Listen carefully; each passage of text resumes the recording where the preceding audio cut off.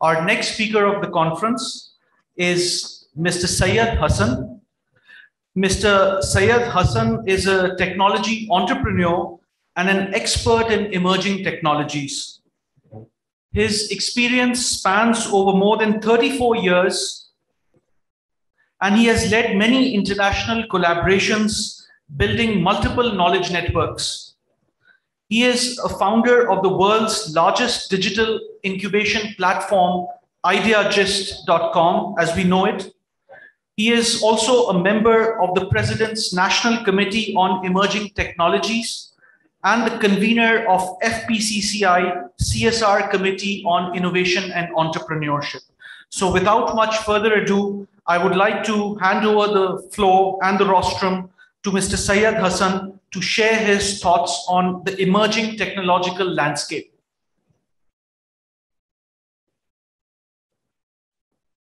Thank you so much. Hello. Yeah. Thank you so much.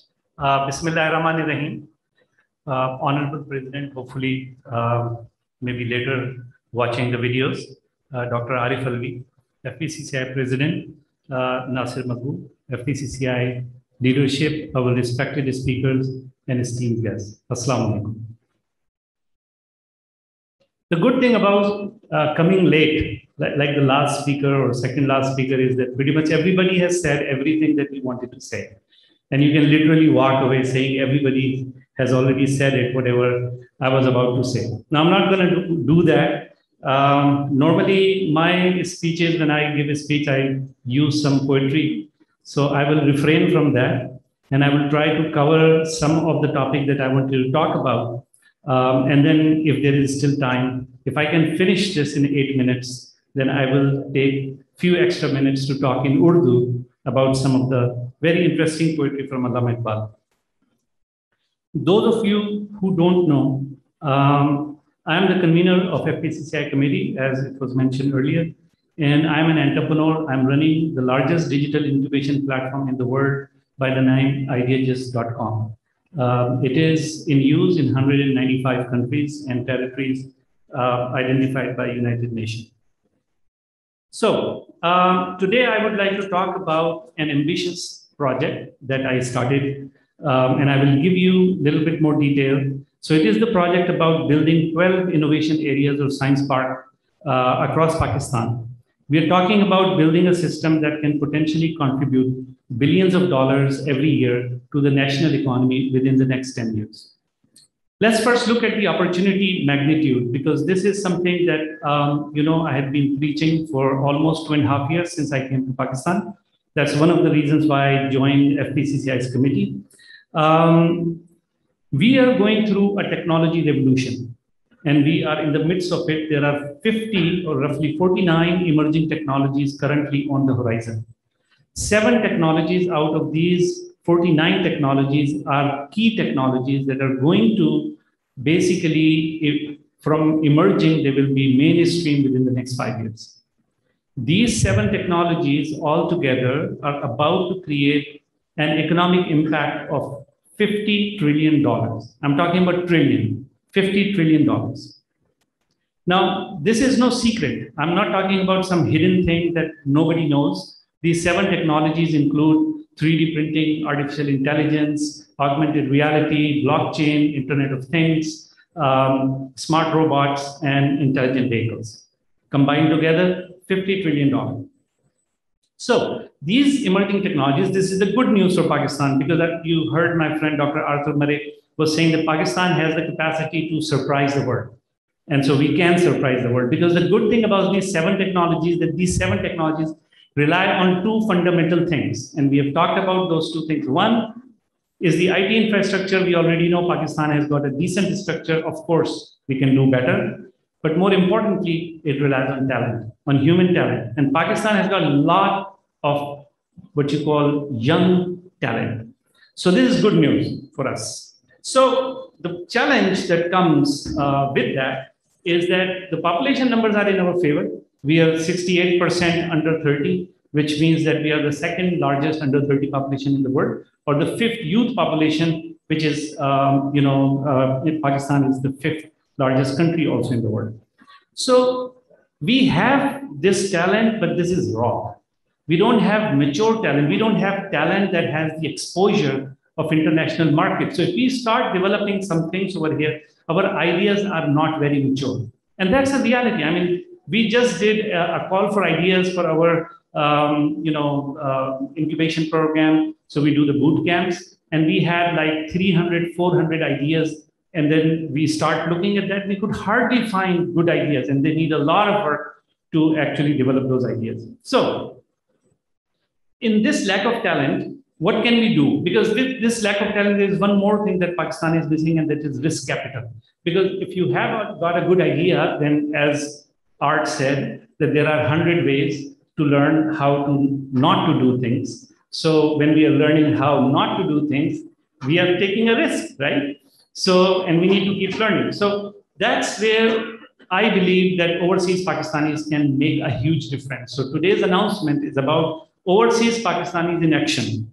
So to unlock the potential of a young population, we need a large pool of internationally experienced people that are willing to invest their intellectual capital, their financial capital, and their social capital into our future generations. For, for the future generation, not for their own self. So overseas Pakistanis worldwide are recognized for their intellectual leadership, their business leadership, and uh, you know their academic leadership. They're uh, you know everywhere in the world, Pakistanis have made a name for themselves. Their intellectual capital can propel the growth of knowledge economy in Pakistan. And that is the missing link because in Pakistan, we cannot find that many talented people who have that global exposure, who can guide our younger generation to go forward. So, with that, 10 million people all over the world. These guys are not only just the experts, the entrepreneurs, they, uh, they, they have all sort of different capabilities. With the new post COVID 19 world emerging now, all of us, because when I came to Pakistan two and a half years ago, trust me, some people said to my face that Hassan, you're crazy, you're talking about US in Pakistan, everything happens like this in person. But here we are doing the first conference, hybrid conference. We have got people outside, we've got people over here. And now in Pakistan, people realize that it can be done. So post COVID 19, pre COVID 19 may be a different world. So post COVID-19, we are talking about, um, you know, physical distance is no more a limitation. So these people who are sitting outside Pakistan, Pakistani diaspora, can easily provide thought leadership and high-end technology expertise to young technology entrepreneurs in Pakistan. They can also provide risk capital. These guys are not, uh, you know, uh, financially broke. They have money. They can invest money in Pakistan. And if you look at it, you know, the Indian and Chinese story also has their diaspora very much engaged in building their economy. So for Pakistan, this must be the time. So you must have got the idea by now. Uh, so the ideas provided and led by the overseas Pakistanis, combined with the talent, youth talent in universities, and systematic flow of risk capital will surely bring fast results and will increase the flow of foreign direct investment in Pakistan. We just saw like uh, 85 million dollar were raised by Airlift. That's a Pakistani company raising at the international level 85 million dollars. That's not an easy thing to do. That's one of the large deals recorded in the last 10 years. So, what are we going to do?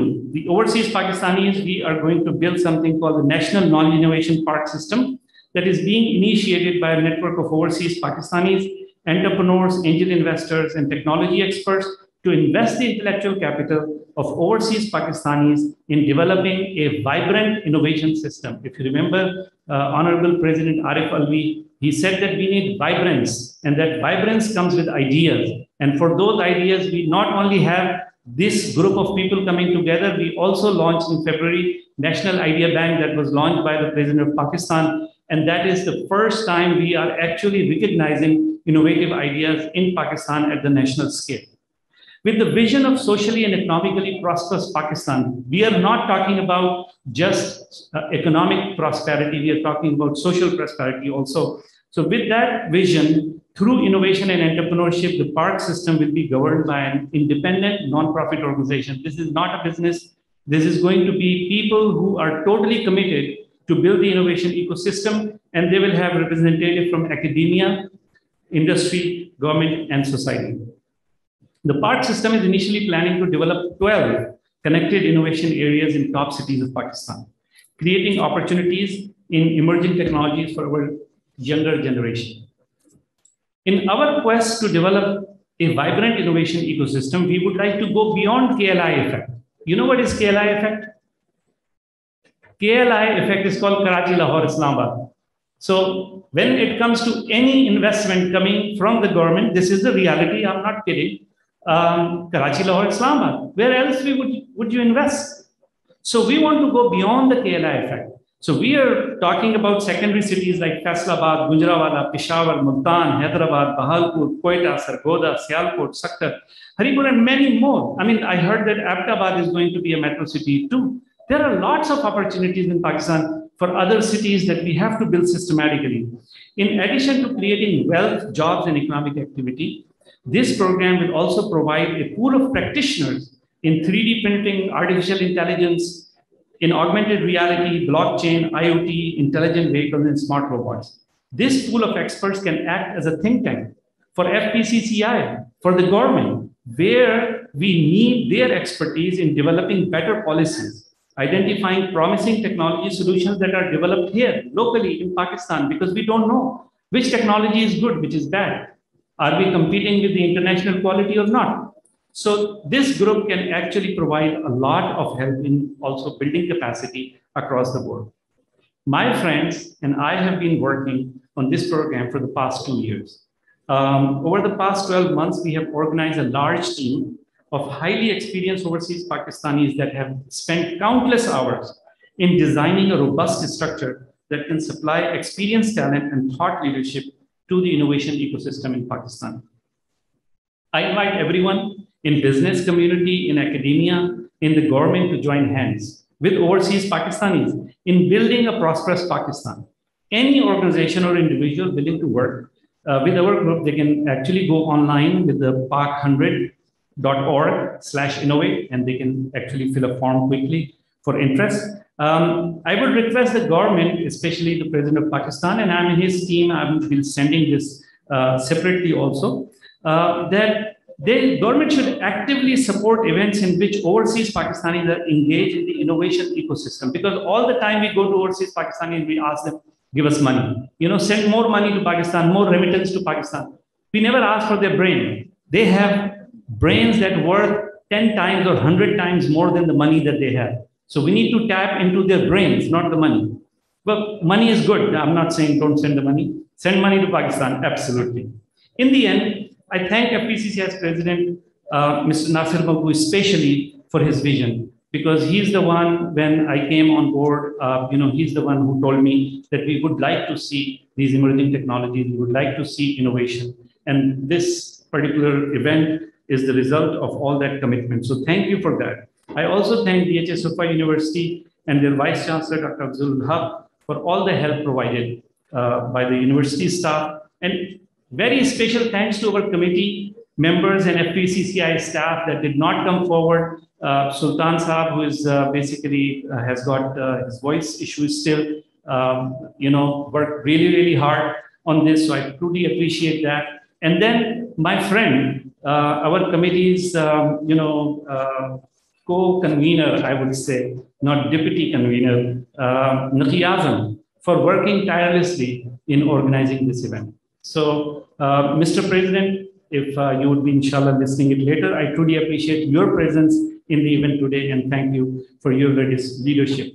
So, I will keep my promise. We have, uh, I think I did it in eight minutes. I have three, four minutes and I'm going to share with you an amazing poetry. But before I do that, let's give a big hand to the committee members, FPCCI staff, and so many other people who had been working from behind. So so, मैं आपके साथ एक बहुत ही simple सी चीज़ उर्दू में share करता हूँ। Sorry for all the foreign delegates that may not be able to understand तो अल्लामा इकबाल को आपको पता है मैं हर दफ़ा अल्लामा इकबाल को कोट करता हूँ। Um, और आज हमारा क्योंकि इनोवेशन का दिन है so I am gonna share something an insight that I look at it as a dialogue between Allah and an innovator तो अल्लाह और इनोवेटर के दरमियान मुकालमा तो अल्लाह ने basically it's a two part poetry तो पहले पार्ट के अंदर अल्लाह ताला कह रहे हैं कि तूने दुनिया में इतना फसाद पैदा किया, सारा कुछ किया तो ये इंसान उसको जवाब दे रहा है। और मैं कहता हूँ, ये एक इनोवेटर के जवाब है। तो अल्लाह बात कहते हैं, तू शब आफरीदी, चराग आफरीदम। अल्लाह से कह रहा है इंसान कि तूने रात बनाई तो मैंने चिराग बना दिया। सफाल आफरीदी अयाब आफरीदम। तूने मिट्टी बनाई, मैंने उससे प्याला बना दिया। मिट्टी में तो पानी नहीं होल्ड कर सकता था, प्याला बना के उसी मिट्टी में पानी पकड़ लिया मैंने। बयाबान को सारो राग आफरीदी खयाबान गुलजार बाग आफरीदम। कि तूने बयाबान बनाए, कोहसार बनाए, वीराने बनाए, और मैंने क्या किया? खयाबान गुलजार बाग, गुलजार बनाए मैंने खयाबान बनाए। ये मैंने पैदा किया। अल्लाह को कह रहा है इंसान, मन आनम के असंग आईना साजम, मन आनम के अजहर नौशीना साजम। मैं तो वो हूँ जो पत्थर से आईना बना लेता हूँ। मैं तो वो हूँ जो जहर से उसी का त्रियाग पैदा कर लेता हूँ। ये करेज आप क्या समझते हैं कि ये कोई तोहीन है अल्लाह की? क्या अल्लामा इकबाल ने कोई ऐसी खुदा न खास्ता बात कर दी कि अल्लाह की तोहीन कर दी? नहीं। एक इनोवेटर को अल्लाह ताला ने ये करेज दी है कि वो ऐसे बात कर सकता है। और ऐसे ही इनोवेटर हमको इस पाकिस्तान में पैदा करने हैं जो बिल्कुल किसी की परवाह ना करें। जो बात, जो आइडिया उनके दिमाग में आए They should work on it, passionately work on it, and don't listen to anybody else. So thank you very much. Uh, Mr. Syed Hassan, we heard your wonderful presentation and we heard you speak. Uh, there is a question for you from uh, the audience that apart from engaging uh, the overseas Pakistanis in the innovation and entrepreneurship ecosystem, what other solutions would you propose to leapfrog innovation and entrepreneurship into the next level? Your thoughts, please. जी बिल्कुल thank you एक और अल्लामा इकबाल का शेर है महरूम रहा दौलत दरिया से वो गवास करता नहीं जो सोहबत साहिल से किनारा कि वो गोता लगाने वाला जो साहिल के ऊपर खड़ा रहे और गोता ना लगाए जाके तो उसको कौन से मोती मिलने? तो एंटरप्रनोरशिप की जब हम बात कर रहे हैं, या इनोवेशन की हम जब बात कर रहे हैं तो सबसे पहले you have to be able to take a chance you have to go outside your comfort zone और ये हमारे माशरे के अंदर बनाया नहीं गया, हमारा मुआरा इस तरह। हमारा मुआरा इस तरह बनाया गया कि हम हर बच्चे को छोटे से लेकर बड़े तक की खौफ पैदा करते हैं उसके दिल में। बस जैसा माँ बाप ने कहा, वैसे करो। जैसा टीचर कह रहा है वैसा करो। क्लास के अंदर आते हैं बच्चे बोलते नहीं हैं। मैं क्लास में जाता हूँ कभी लेक्चर देने के लिए तो मैं परेशान हो जाता हूँ। मुझे आधा घंटा लगता है खाली उनको वार्म अप करके कि वो ये कंफर्टेबल फील करें कि वो कुछ कह सकते हैं। सो so, अगर आप पूछें कि मैं क्या चेंज करना चाहूँगा पाकिस्तान में तो नंबर वन चीज़ ये थिंकिंग है। और ये थिंकिंग जो है वो बेसिकली इसका ताल्लुक आज़ादी से दिमाग की आज़ादी से।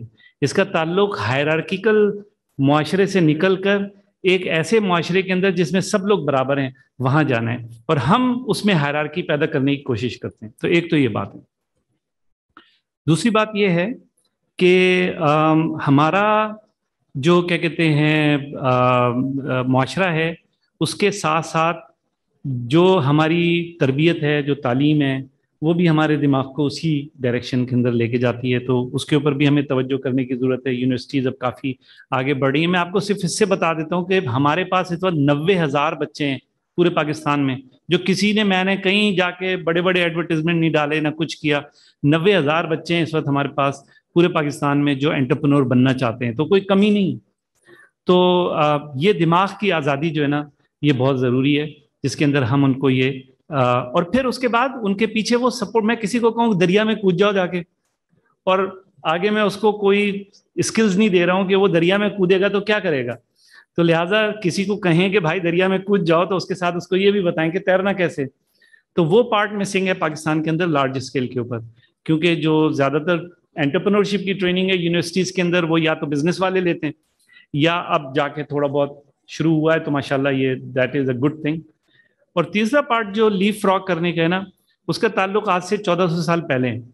आ, मैं सबको बताता हूँ हज़रत अली रज़ी तु का कौल है कि इल्म वो दौलत है जिसको जितना खर्च करो उतना बढ़ती है। आपको पता है दुनिया के अंदर इस वक्त सबसे बड़ा ट्रांजिशन जिससे हम गुजर रहे हैं जो हमें नज़र भी नहीं आ रहा है एक ट्रांजिशन है जिसको हम कह रहे हैं कि इंडस्ट्रियल एज से नॉलेज एज के अंदर ट्रांजिशन नॉलेज एज के अंदर सबसे इंपॉर्टेंट तरीन चीज़ क्या है? नॉलेज कैसे बनती है? नॉलेज बनती है तो उसकी दो चीज़ें जैसा इरम ने कहा कोलाबरेशन आप जब तक कि आप किसी बंद कमरे में डार्क रूम में जाकर नॉलेज नहीं क्रिएट कर सकते, आप फिलसफा क्रिएट कर सकते हैं डार्क रूम में जाके। लेकिन अगर आपने नॉलेज क्रिएट करनी है तो आपने दुनिया में आना है। दुनिया में आना है तो आपने कोलाबरेट करना है। पाकिस्तान में कोलाबरेशन का बहुत फुकदान है। तो जो आप कह रहे हैं लीव फ्रॉक तो ये एक तीसरी प्रॉब्लम है जिसको हमने सॉल्व करना है।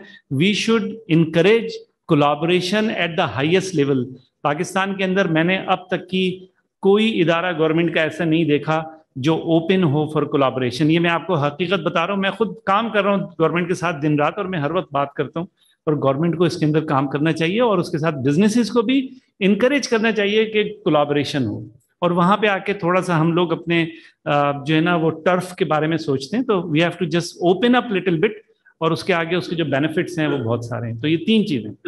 Thank you very much Syed Hasan sahab